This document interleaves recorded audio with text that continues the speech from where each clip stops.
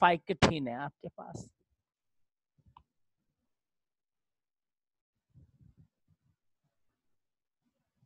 Yes yes, अब bivalent बनेंगे जा करके ना? अब बनेंगे बाइवैलेंट इसके अंदर। ठीक है तो देखिए as a result of synapsis इसके अंदर क्या होगा अब? कि as a result of synapsis point number one as a result of synapsis ठीक है क्रोमोसोम्स क्या होगा chromosomes becomes double. डबल हो गए थे ना, एक दूसरे के नज़दीक आए थे। Chromosome become double called bivalent हमने इसको किसका नाम दे दिया? बायवैलेंट का नाम दे दिया। ठीक है? अब दूसरा पॉइंट काम क्या होगा इस स्टेज के अंदर कि bivalent chromosome become shorter and thicker अब क्या होगा इसमें? The bivalent chromosomes becomes shorter and thicker. क्या बाइवेलेंट क्रोमोसोम शॉर्ट होंगे और थिक हो जाएँगे, ठीक है? अच्छा फिर उसके बाद एक नेक्स्ट काम और होगा इसमें। ईच होमोलोगस क्रोमोसोम्स यही सबसे इंपॉर्टेंट है, ठीक है ना? Each homologous homologous chromosomes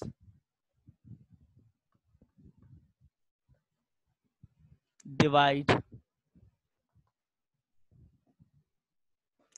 into two आपके पास क्या है? क्रोमेटिड डायग्राम में दिखाता हूँ कैसे। Two chromatids in this way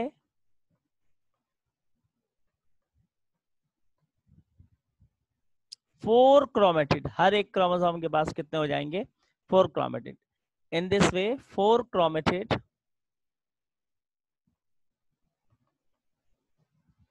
are formed चार क्रोमेटिड बन गए, called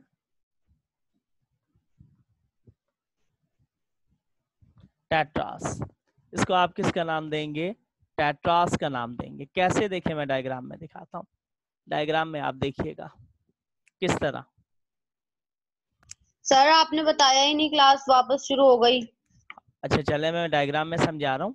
देख ले वही पॉइंट्स ठीक है? देखें, ये है आपके पास न्यूक्लियस ठीक है? हम कौन सी स्टेज देख रहे हैं? यहाँ पर फाइकिटीन को देख रहे हैं फाइकिटीन ठीक है? भाई जाइगोटीन तक तो सैनेप्सिस बने थे। अब इसके बाद क्या होगा इनके अंदर, देखें।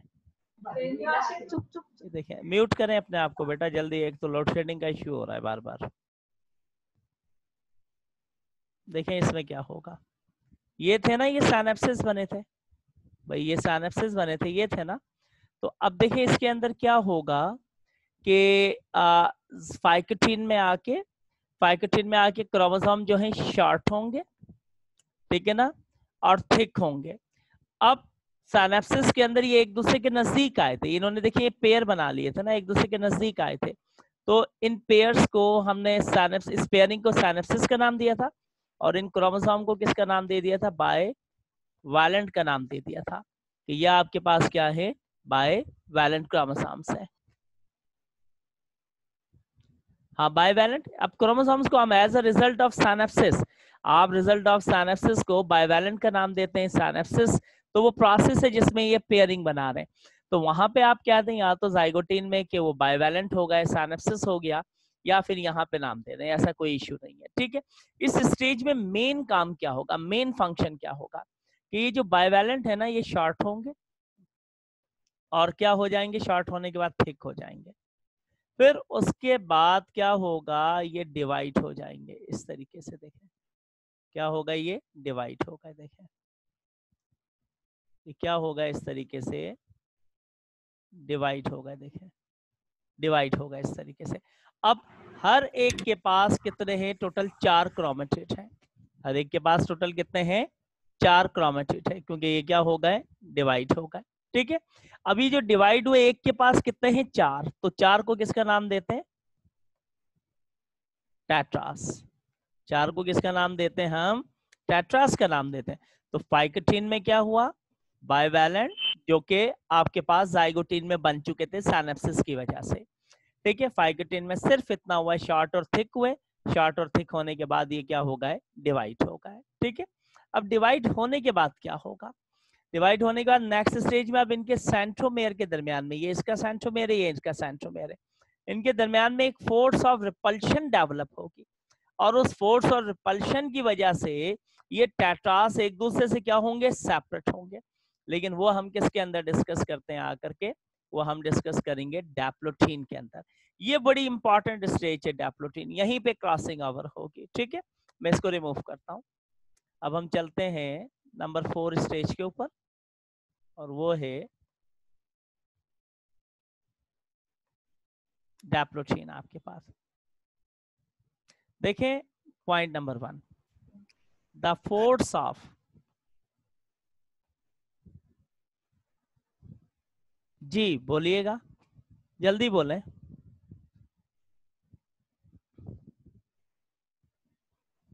स्क्रीन रुकी हुई है। स्क्रीन रुकी हुई है। अभी देखें स्क्रीन रुकी हुई है क्या? कोई मूवमेंट नज़र आ रही है स्क्रीन पे?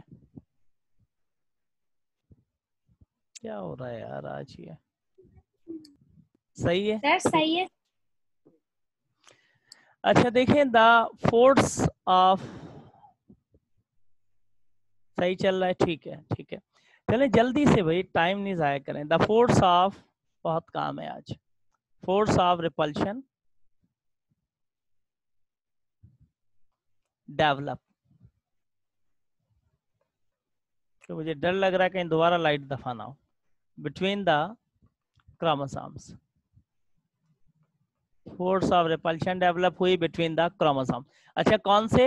होमोलोगस क्रोमोसोम्स कौन से क्रोमोसोम्स थे? होमोलोगस क्रोमोसोम्स थे। ठीक है? And they began to separate began to separate. अभी एक दूसरे से क्या होंगे? सेपरेट होंगे। ठीक है? From each began to separate from each other each other ठीक है? पहला पॉइंट तो ये। डायग्राम में भी दिखाऊँगा। अच्छा फिर दूसरा क्या है? दूसरा क्या है? But they they remain attach at certain point remain attached at certain point, points ठीक है कॉल्ड अब उन पॉइंट्स को हम किसका नाम देते हैं? कॉल्ड चैसमेटा चैसमेटा ठीक है? चेस मेटा कहेंगे। अब चेस मेटा के थ्रू क्या होगा? देखें through chiasmata chiasmata chiasmata exchange of genetical material. Genetical material take place.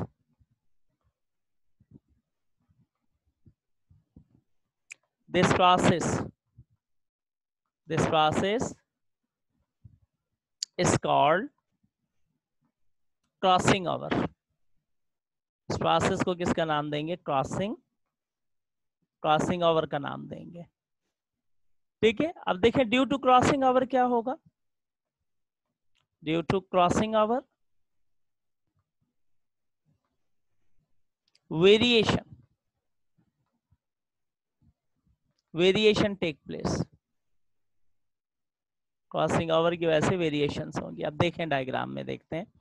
कि किस तरीके से वेरिएशन आएँगे। देखिएगा इधर रिमूव करता हूँ मैं इसको ना। देखिए, ये क्रोमोसोम्स थे आपके पास, मैं यहाँ ड्रॉ करता हूँ।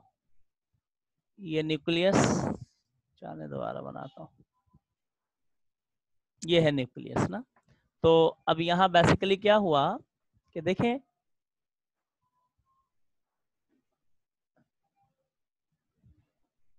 देखें इस तरीके से। ये सेपरेट कंप्लीटली नहीं हुए।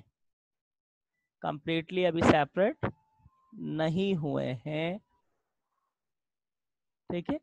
अभी भी कुछ पॉइंट से ये एक दूसरे के साथ में क्या है? यहाँ पर इस तरीके से अटैच है। ये इनका न्यूक्लियोलस और इसके अंदर ये मटेरियल देखें, इन पॉइंट्स को हम नाम दे रहे हैं चेस्मेटा चेस्मेटा देखिए, इनके दरमियान में ना ये फोर्स ऑफ़ रिपल्शन आई थी। आपने पिछली डायग्राम में देखा था? देखें किस तरीके से? पिछली डायग्राम जिससे पहले मैंने आपको बना करके दिखाई थी फाइकटीन के अंदर। कैसे देखें एक दूसरे के साथ क्या थे? अटैच थे, बिल्कुल से। बिल्कुल एक दूसरे के साथ यूँ कह लीजिए कि इस तरीके से क्वाइल थे। क्वाइल थे एक दूसरे के साथ। ठीक है, देखें सही अब इनके इस सेंट्रोमेयर के दरमियान में फोर्स ऑफ़ रिपल्शन डेवलप हुई थी और रुक गई। कैसे रुक गई भाई? क्या स्क्रीन रुकी हुई है क्या? क्या हो क्या रही है आज? सही है। सही है। ये लोग कह रहे हैं रुक गई। अभी देखें। सही है। क्या हो रहा है यार? समझ से बाहर है। अच्छा चलें ठीक है। देखें यहाँ पे जल्दी। ये पहले इस तरीके से थे ना? देखें इस तरीके से। तो इनके ये सेंट्रोमेयर ये था, ये सेंट्रोमेयर था। इन दो सेंट्रोमेयर के दरमियान में फोर्स ऑफ़ रिपल्शन डेवलप हुई। जब इन दो सेंट्रोमेयर के दरमियान में फोर्स ऑफ़ रिपल्शन डेवलप हुई तो देखें सेपरेट हो गए। लेकिन अभी भी कुछ सर्टेन पॉइंट से ये एक दूसरे के साथ क्या है? अटैच है।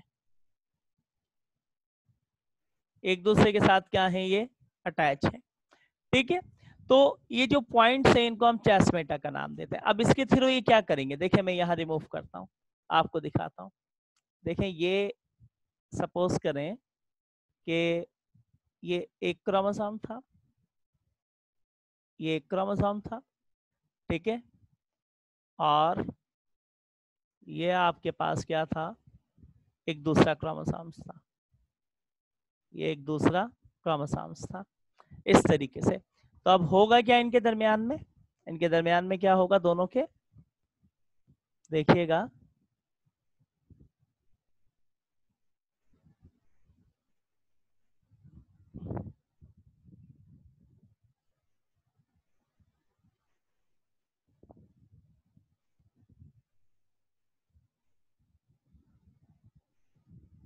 देखें क्या होगा। अब आप शायद ऑब्ज़र्व कर पा रहे हो। देखें, इन दोनों ने एक दूसरे के जेनेटिकल मटेरियल को एक्सचेंज कर लिया। जेनेटिकल मटेरियल को एक्सचेंज कर लिया। अब इस एक्सचेंज ऑफ़ जेनेटिकल मटेरियल को हमने नाम दिया क्रॉसिंग ओवर का। और क्रॉसिंग ओवर की वजह से कंट्रास्ट कैरेक्टर्स आते हैं। कंट्रास्ट कैरेक्टर्स कंट्रास्ट कैरेक्टर्स आएँगे मतलब वेरिएशंस आएँगे ना? कैसे वेरिएशंस आएँगे? चले मैं एक एग्जांपल देता हूँ, आपको सपोज़ कर लें। ठीक है? ये देखें, दोनों ने इसने थोड़ा सा पार्ट इसका ले लिया, इस वाले क्रोमोसोम का, और इसने क्या करा? इसका। दोनों ने एक दूसरे के पार्ट्स को एक्सचेंज कर लिया थोड़ा सा। देखिए क्या है सपोज़ करें। मैं कहूँ कि एक रेड रोज है, इसके पास एक डीएनए है। ठीक है? इससे मैं कहता हूँ one two three four red rose बनते हैं। कितने बनते हैं? फोर रेड रोज बनते हैं। अच्छा जो डीएनए इसके पास है, ये पैरेंटियल है, ये पेरेंट्स है, ये पेरेंट है। ये एक पेरेंट है। और ये जो यहाँ पर मौजूद है, ये इसके क्या है? ये चिल्ड्रन ये इसके क्या है? चिल्ड्रन है सपोज़ कर लें। ठीक है? तो अब जो डीएनए इस पेरेंट के पास है, वही इन चारों के पास होगा डीएनए वही डीएनए इन चारों के पास आएगा। ठीक है ना? अब खुदा ना खास्ता इसके डीएनए के ऊपर कोई डिज़ीज़ थी, कोई डिज़ीज़ थी, कोई डिज़ीज़ का जीन था, या कोई जीन जो है वो क्या हो गया था म्यूटेशन कर गया था कोई जीन ठीक है? तो अगर क्रॉसिंग ओवर नहीं होती तो चारों के पास सेमेसिटिक कैज विदाउट एनी चेंज डीएनए आ जाता। तो जिस डिज़ीज़ से पेरेंट की डेथ कॉजिंग होती, उसी डिज़ीज़ से ये चारों मर जाते लेकिन क्रॉसिंग ओवर की वजह से क्या होता है कि कुछ में वो डिज़ीज़ ट्रांसफ़र हो पाती है और कुछ के अंदर वो डिज़ीज़ ट्रांसफ़र नहीं हो पाती है। ठीक है? कुछ में वो डिज़ीज़ तो ट्रांसफ़र हो जाएगी, लेकिन बाद ऐसे होंगे जिनके अंदर वो डिज़ीज़ ट्रांसफ़र नहीं हो पाएगी। तो क्रॉसिंग ओवर के बड़े फ़ायदे हैं। क्रॉसिंग ओवर कुदरत ने इसीलिए रखा है कि you all of them are not hundred percent copy of your parent you have some contrast characters आपके पास कुछ कंट्रास्ट कैरेक्टर्स हैं। आपके पेरेंट्स से अगर ये क्रॉसिंग ओवर ना होती तो याद रखिएगा जनरेशन टू जनरेशन चलने वाली डिज़ीज़ एक दूसरे के अंदर क्या होती रहती ट्रांसफ़र होती रहती। है इस क्रॉसिंग ओवर की वजह से क्या हो जाता है? कुछ में ट्रांसफ़र हो जाती है और कुछ में ट्रांसफ़र नहीं हो पाती है, ठीक है? इस तरीके से तो फिर बड़ा मसला हो जाता तो कुदरत ने थोड़े से कंट्रास्ट कैरेक्टर्स रखे जो कि डिफरेंट हैं आपके अंदर, आपके पेरेंट्स से थोड़े से कंट्रास्ट ठीक है? समझ आ गया क्रॉसिंग ओवर ये क्रॉसिंग ओवर क्यों होता है बेसिकली तौर के ऊपर?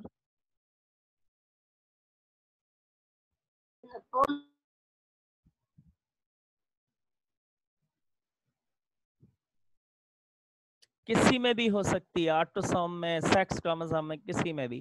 क्रॉसिंग ओवर तो होगी ना सबके दरमियान में, कितने सारे थे वहाँ पे क्रोमोसोम सब क्रॉसिंग ओवर करके थोड़ी सी वेरिएशन डेवलप कर लेंगे, ठीक है? अच्छा जी, अब डेप्लोटीन के अंदर याद रखना है आपने, क्या हुआ था? फोर्स ऑफ़ रिपल्शन आई थी, ये एक दूसरे से क्या हुए थे? सेपरेट हुए थे, लेकिन कुछ पॉइंट से अटैच रहे थे, उन पॉइंट्स को चेसमेटा का नाम दिया था। और चेसमेटा ही की वजह से क्या हुआ? जेनेटिकल मटेरियल एक दूसरे में एक्सचेंज हुआ। जब जेनेटिकल मटेरियल एक्सचेंज हुआ तो वेरिएशन आ गई कंट्रास्ट कैरेक्टर्स आ गए। लास्ट स्टेज है डाय कैनेसिस आखिरी स्टेज अच्छा देखिए, अब क्या होगा आपके पास डाइकनेसिस के अंदर आके? वेरी सिंपल वेरी सिंपल क्या होगा कि nuclear membrane?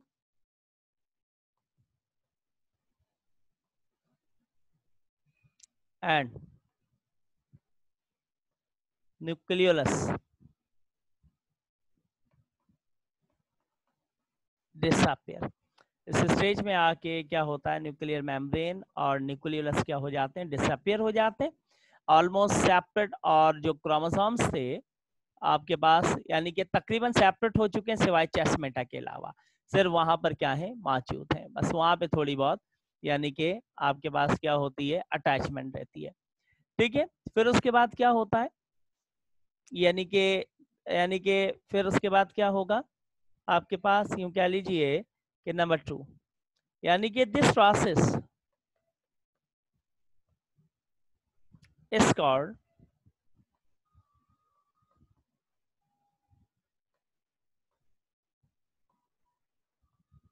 terminalization ठीक है? Now chromosomes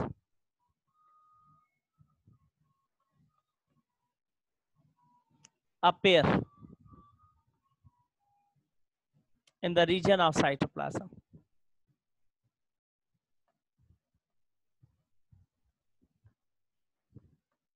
Cytoplasm में अपेयर हो जाएँगे रीजन ऑफ़ साइटोप्लाज्म में। उसके बाद अब आपको पता है न्यूक्लियर स्पेंडल तो बन चुके होंगे। They move towards the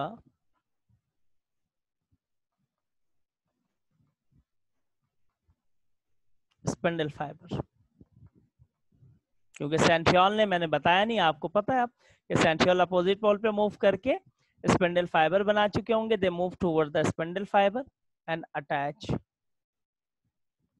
attached with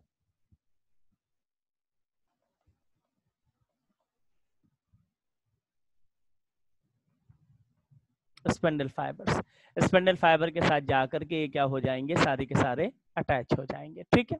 तो इसको टर्मिनलाइजेशन टर्मिनेट करना, कुछ एलिमिनेट करना, निकाल देना कुछ चीज़ों को। तो गए कौन है यहाँ से? टर्मिनेट कौन हुए? न्यूक्लियर मेम्ब्रेन और न्यूक्लियोलस टर्मिनेट हो गया। और उसके टर्मिनेट होने के बाद यानी कि साइटोप्लाज्म के अंदर क्या बन चुके हैं? कंप्लेक्शन ऑफ़ स्पिंडल फाइबर से मुराद स्पिंडल फाइबर बन चुके होते हैं। जब डाइकनासिस में पहुँचता है ना तो सेंट्रियोल क्या करते हैं? अपोजिट पोल्स की तरफ़ मूव करके किसकी फॉर्मेशन कर लेते हैं? स्पिंडल फाइबर की। तो complexion of spindle fiber complete हो चुका होता है डाइकनासिस में। उसके बाद न्यूक्लियर मेम्ब्रेन और न्यूक्लियोलस डिसअपियर होते हैं। Chromosome move towards the spindle fiber and attach with spindle fiber. Spindle fiber के साथ जाके क्या हो जाएँगे? अटैच हो जाएँगे। ठीक है? अच्छा जी, अब उसके बाद आगे चलते हैं नेक्स्ट स्टेज के ऊपर और वो नेक्स्ट स्टेज आपके पास कौन सी होगी? देखें यहाँ पर, मैं आपको बना करके दिखा दूँ कि यानी कि इस तरीके से ना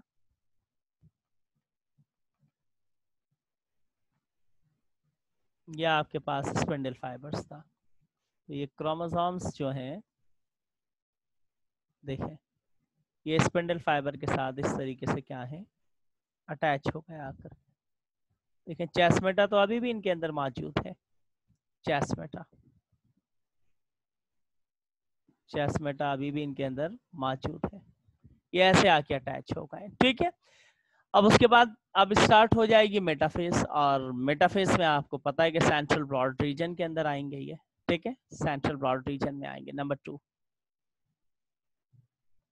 मेटाफेज वन अगर माइटोसिस समझ आ गया था तो ये मेटाफेस भी समझ आ जाएगा आपको। अच्छा जी, उसके बाद देखिए अब क्या होगा? The chromosome now place number one the chromosomes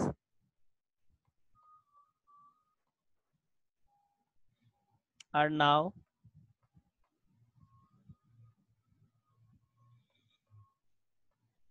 placed at the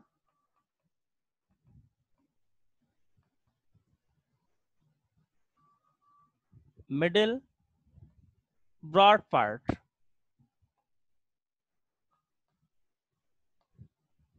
of spindle मैंने कल बत, परसों बताया था आपको माइटोसिस में स्पेंडल, उसको क्या नाम देंगे? कॉर्ड।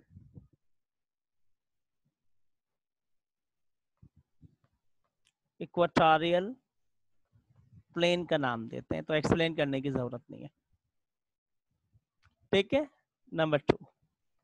देखिए the spindle fiber. Spindle fiber.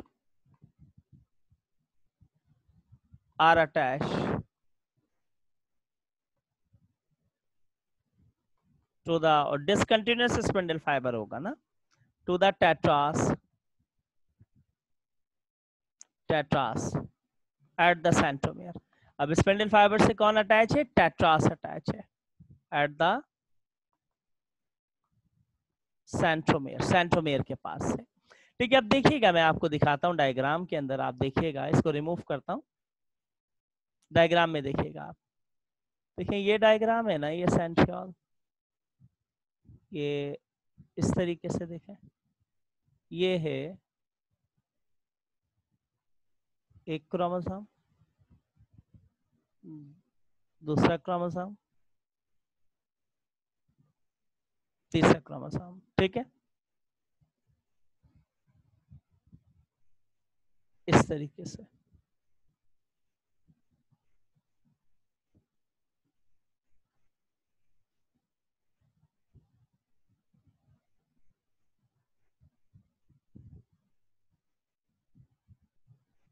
देखिए, कहाँ आ गए? सेंट्रल ब्रॉड रीजन में सेंट्रल ब्रॉड रीजन में।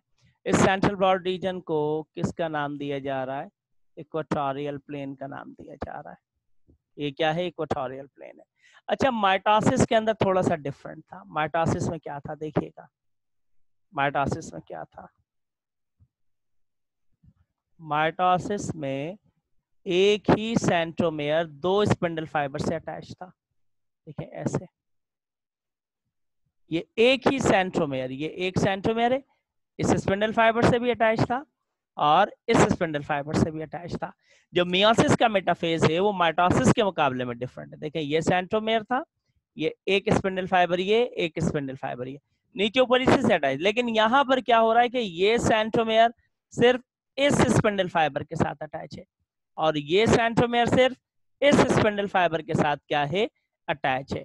यानी कि हर सेंट्रोमेयर जो है क्रोमोसोम का हर एक डिफरेंट स्पिंडल फाइबर से अटैच है। और ये कौन से स्पिंडल फाइबर है? Discontinuous discontinuous spindle fibre है। क्लियर है? अब इनके दरमियान में क्या होगा? सेपरेशन होगी। क्लियर है? आगे चलें।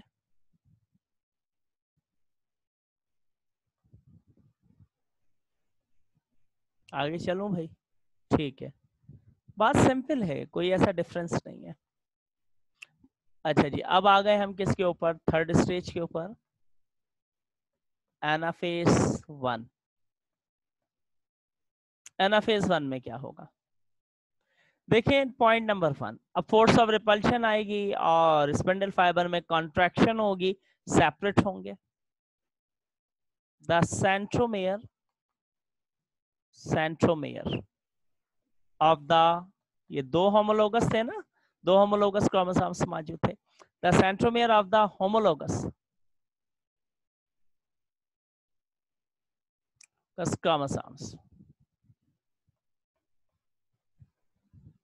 repel each other अब रिपल्शन आएगी, मैंने उधर भी बताया था। रिपल ईच अदर अब इनके दरमियान में रिपल्शन पैदा हुई। तो as a result of this process as a result of this process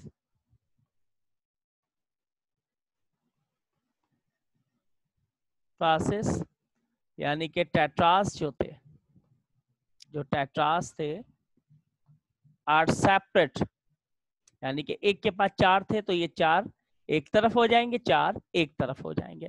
Tetrads are separate from each other tetrads क्या हो जाएँगे? सेपरेट फ्रॉम ईच अदर एक दूसरे से क्या हो गए? सेपरेट हो गए. ठीक है? फिर उसके बाद क्या होगा?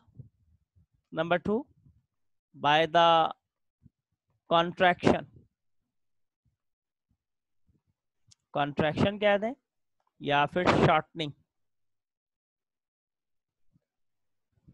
shortening of spindle fiber spindle fiber the homologous chromosome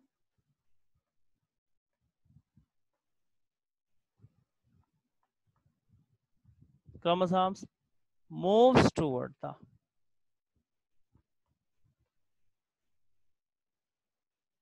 moves towards the opposite pole. Opposite poles की तरफ़ क्या कर जाएँगे? मूव कर जाएँगे, ठीक है? अब इस पॉइंट को दो को साफ़ करता हूँ क्लियर करता हूँ, फिर डायग्राम भी बनाएँगे यहाँ पे। थर्ड पॉइंट देखते हैं इसका। थर्ड पॉइंट यानी कि due to this process due to due to this process उस process reduction. Reduction of chromosomes. Occurs, occurs and they are changed. Change from diploid to haploid अब ये चेंज हो रहे हैं डेप्लॉइड से किसके अंदर जा रहे हैं? हैप्लॉइड के अंदर जा रहे हैं। ठीक है, कैसे? डायग्राम में देखते हैं। डायग्राम इसकी ड्रॉ करता हूँ मैं। यहाँ देखिएगा। देखें, इस तरीके से।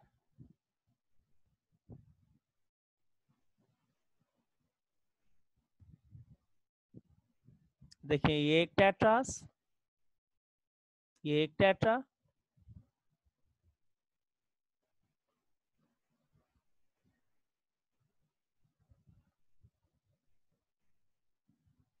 देखिए, इस तरीके से।